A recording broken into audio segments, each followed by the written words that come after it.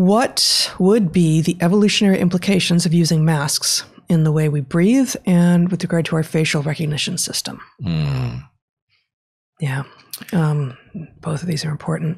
Um, well, actually, facial recognition, I'll say, is clearly important. And I think I've said here before that I'm I was super worried, especially when I saw young kids out um, when everyone was still masked.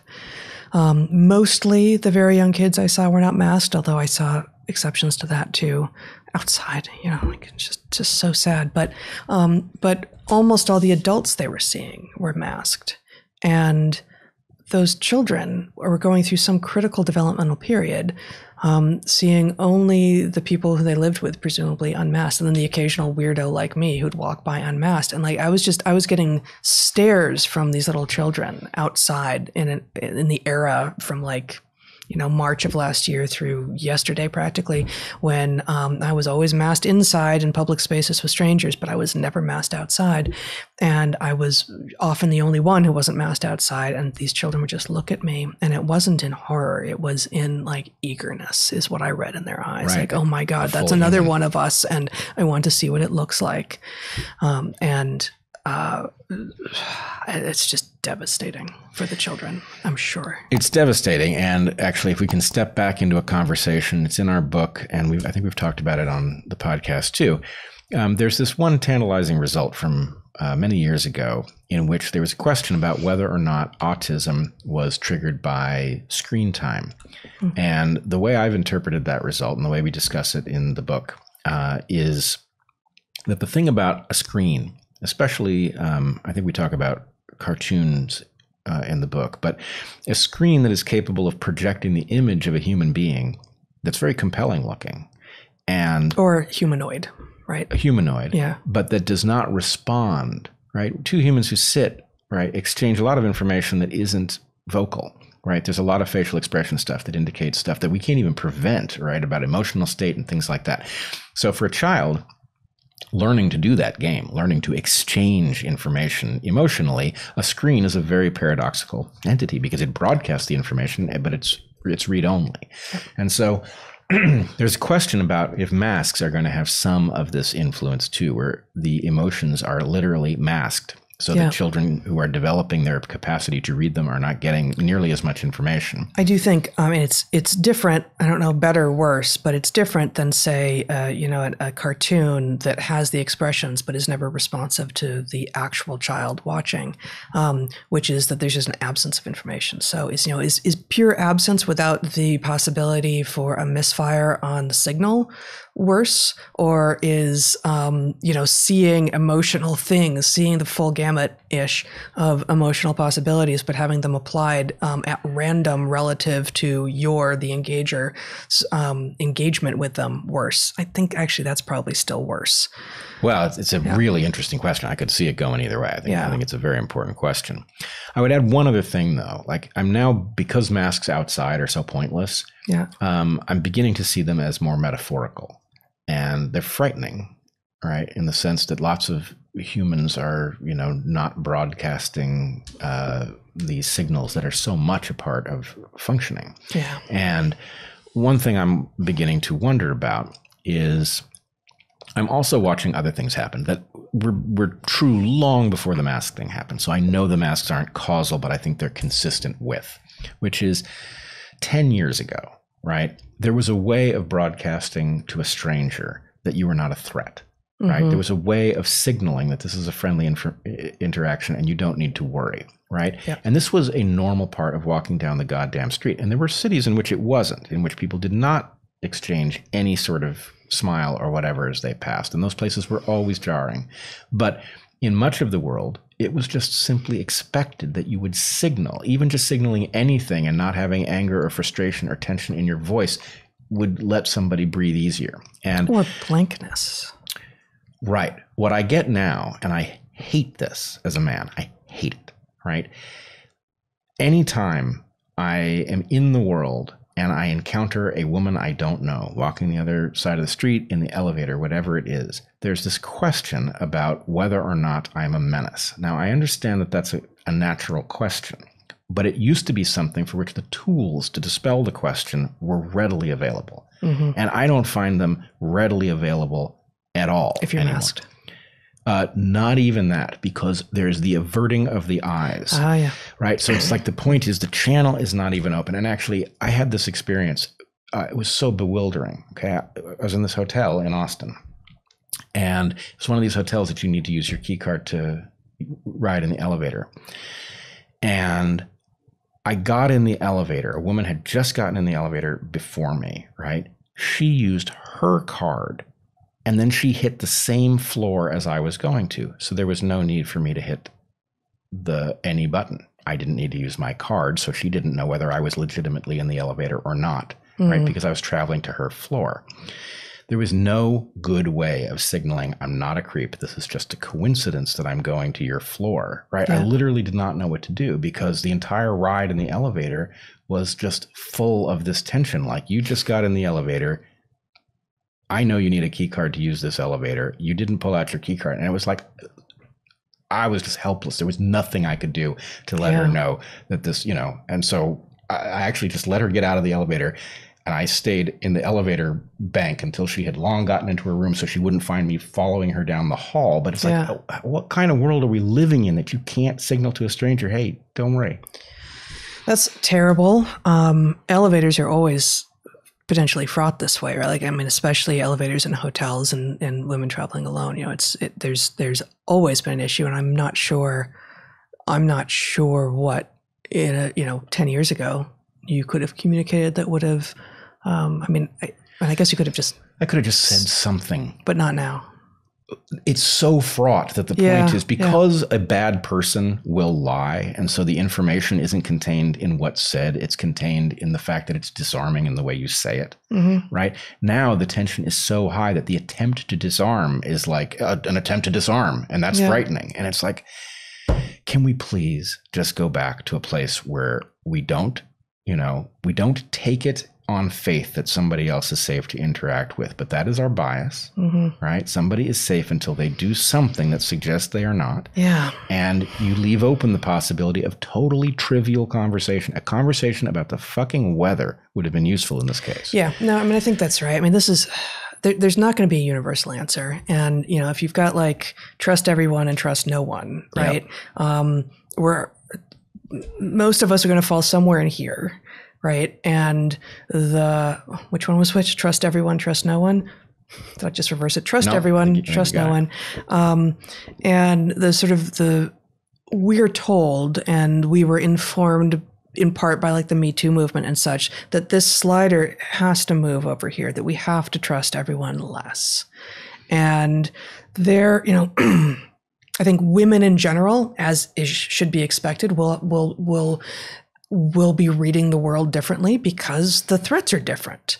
And frankly, a hotel a hotel elevator is a particularly fraught and potentially dangerous environment. And um, at some level, you know, she pressed that button while you were already in the elevator. That's kind of a signal um, that either she's not reading the situation at all, or she's kind of looked at you and been like, not a threat.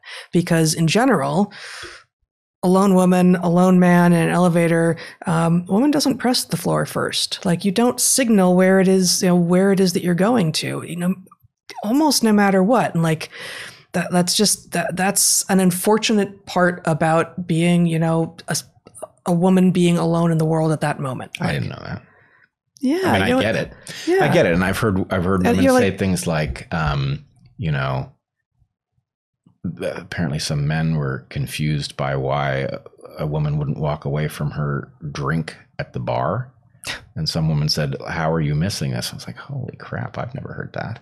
Um, but of course, So th- I mean, this is what Me Too was supposed to do, Right. right? Like, It and was. like, and, and Frank, like you and I have been together forever, and some of the stuff that even even between us, like, it, it's just ob- like, I- of course, and like, you should fill that in. I haven't, I don't know what you're saying yet. well, no, I mean, like the elevator thing and the drink at the bar Oh, thing. you would think like, that's obvious to me, but it's not. yeah, Yeah, and you know, this is exactly what Me Too was supposed to do. Yeah. This is exactly what it was supposed to do. And it got hijacked, and maybe it started out hijacked, like maybe BLM started out hijacked and it just had the good sounding stuff. Like, I, I don't actually have the sense of what the thing behind Me Too was, but it had the potential to exactly inform the vast majority of men who are awesome and who couldn't frickin', you know, follow Fathom a it, woman yeah. to her hotel room and hurt her for you know for anything they just wouldn't but inform them of what it is actually to walk around going like actually i'm paying attention i'm not going to put that information into that guy's head because i don't know who that guy is Okay, okay. i'm not going to inform him of what floor i'm going to. Right. to But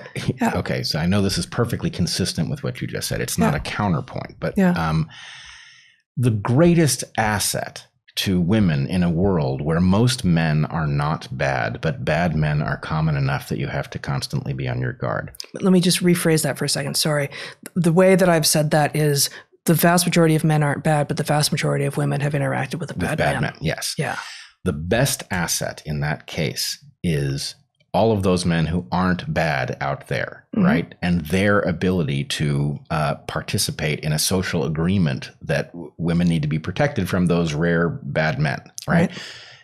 Cutting off the line of communication so that I cannot ride it. I mean, believe me, if anybody has the skills to to signal that I am not a threat in a freaking elevator, I've got those skills in spades. I couldn't figure out how to do it in this case. In Yeah. fact, now many days later, I know what I should have done, What? and it would have been a flat out lie.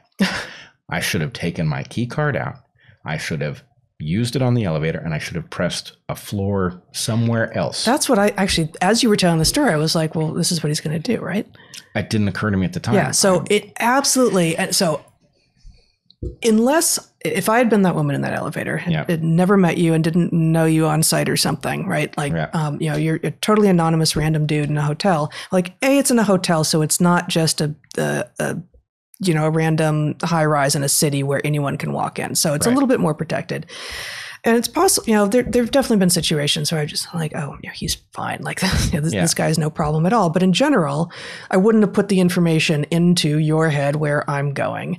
Um, but if I had not, um, or if you know, if you, and I don't know, you're trying to be a gentleman or you're trying to get the information. Oh, after you, after you, miss, ma'am, whatever it is Yeah. they want to call. it, Um, I put in the wrong floor. Like if, Right. if, if someone invites me to give them information that I've already decided I don't want to give them, I'm going to give them bad information. Well, it's actually so. I'm trying to remember exactly what happened. Yeah. I, we're spending a lot of time here, but I sort of think it's worth it. Yeah. Um, so it happened to be the top floor that that elevator went to. Right, that's where I Mm. was, and that's the floor that she pressed. Was there also public stuff on that floor then, like a restaurant or a gym or something? Nothing, just rooms. Okay. Um, now, it's possible if I were in her shoes and I didn't trust that I just gotten into an elevator with some guy who, in this case, could have just walked in off the street. There was no bar to getting in this elevator. Okay. The bar was the key card to your ability to go to a floor. Right. Mm-hmm. So if I was her and I was being clever, I might have pressed the top floor with the thought he has to get out of the elevator somewhere before that floor, right? Um, in any case, I, I don't think that can be right because I think she, I, as I said, I waited in the elevator Yeah. bank until she had cleared the hallway. I guess she could have gone into the stairs and gone down, or she went into a room, which is what I think she did. hmm But nonetheless, the point is what kind of crazy world are we living in where somebody who means you no harm can't simply broadcast that information and then you can evaluate it? You don't have to believe it. Well, so you know the different thresholds that that women will have, you know, and and, and men will just ha- engage this differently because the kinds of things that will bad things that will happen to be to men will be a different a different set of of horrible things. Um, the the threshold that we choose individually as as women is going to be based on a number of things: our personal experience and our um, you know our capacity our imagined capacity for reading someone and for you know spending just a half second going like oh yeah i think he's fine. Um, and i think that thing that sort of i'm actually going to look and engage and do the assessment that's part of what is just like being flattened and so if we're not expecting people we're not we're not we're not expecting people and people aren't learning how to do that sort of assessment and you know again you know f- a year and a half of COVID and social isolation and masks, and like we, we got that problem in spades now, um, then I would guess that there would be, yes, less and less opportunity. Um, and to to actually for you as a man to engage with a woman who might be a little like I don't know what he's what he's doing, um, but you know the other thing that is true is that you know from forever, not just in this modern environment, um, the best intentioned, most awesome man who just wants to be gracious and signal that he's not a threat, and so you know can't we just be human together, uh, may su- may still set someone's Spidey's senses off, sure. off, and you know what? If she gives you misinformation, if she wants to have nothing like, you know, this unless if, if, it's a you know if it's if it's an elevator ride like if it's something that it doesn't have any reason to extend um you know be a little irritated that she didn't see the awesome that you were but no, no, like no. let her go and do oh, what she I'm has not, to do look, somebody's nervous they have the right to do what they right. have to do in order to get out of the situation feel as safe as they can as quick as they can i don't i'm not saying she doesn't have a right to whatever tools she needs to get to there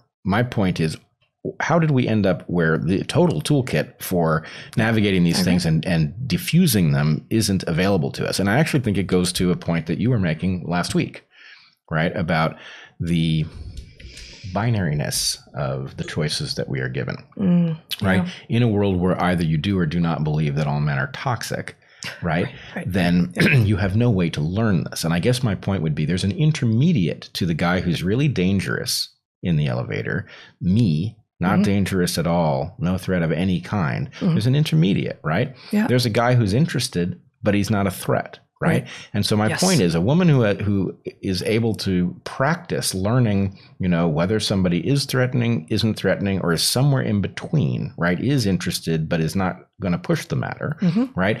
That's a once you've seen the spectrum of reactions, then you can begin to get good at recognizing whether somebody is in one category or the other, or somewhere in the middle. And you'll be better not only at avoiding danger and harm and risk to yourself, um, right. but also more likely to actually end up with interactions and possibly relationships that enrich your life. Right. right. So, in some sense, what I'm perceiving is driving me crazy because basically the point is well, until I know, until I have evidence that you're not a threat, I'm simply going to not only treat yeah. you as one, but yeah. assume that you are one. Right. right?